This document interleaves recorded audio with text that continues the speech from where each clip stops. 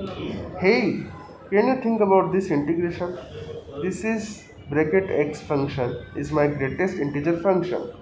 Can you integrate this greatest integer function from limit minus a to a where a is any positive real number?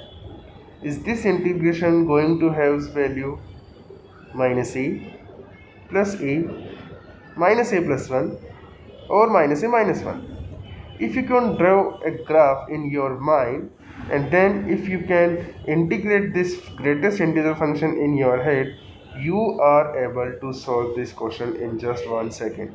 Yes believe me. You can tell me what will be the answer if you can draw a graph in your head.